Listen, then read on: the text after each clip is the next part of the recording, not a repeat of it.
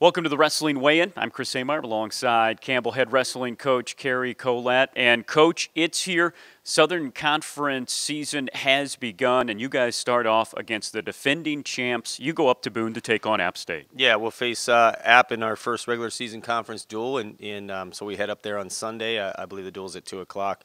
Uh, we'll head up on Saturday actually, and, and um, get our last workout in, and and uh, but that's who we'll kick it off with. Uh, App always does typically a good job of putting an event on and has a decent crowd. So um, we'll be going into the you know the Hornets' nest. You guys obviously have been training, have been at tournaments, have been at duels for months now. What changes as you get prepared for conference? Now we're, we're more individualized in terms of what the guys need. So the more more focus during the week is coming down with the starters.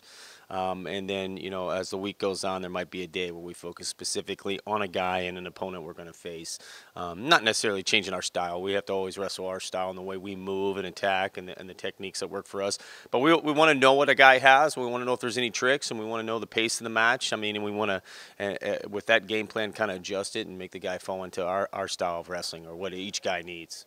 Coach, uh, what really is the key to being successful in a tough conference like the SoCon? Uh, getting your guys up. I mean, that's what it comes down to. When you go into a duel, you're gonna obviously you're gonna look and say, okay, this is this is a good one for us. This one is not so good. It doesn't mean you're out of the match. So it's it's the staff that's going to get their guy to you know believe in his training and, and believe in himself and get out there and compete. Because nobody nobody in this conference is is is uh, hands down better than the other guy. You know, and and um, so um, each duel is going to have some key matchups matchups, and the key matchups are key in, in winning, you know, and having that guy ready.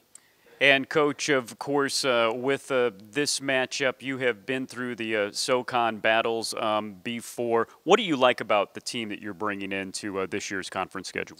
Well, it, this is a team I believe is performing better than I thought they would perform at the start. Right? You you you, you always have a worst case uh, expectations plan, and, and and so we look at it and say this is where we got to work, we got to work, we got to work. And as the season has developed with our tournament schedule up front, I've seen each guy.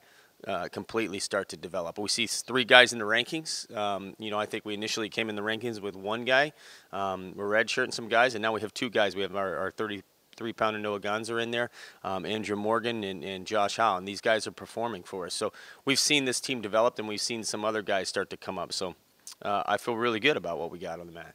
It'll be fun. We'll have highlights for you next week on the show, but you can watch it live uh, through App State coming up on Sunday. For Coach Cary Kolat, I'm Chris Amar saying so long. We'll talk to you next week on the Weigh-In.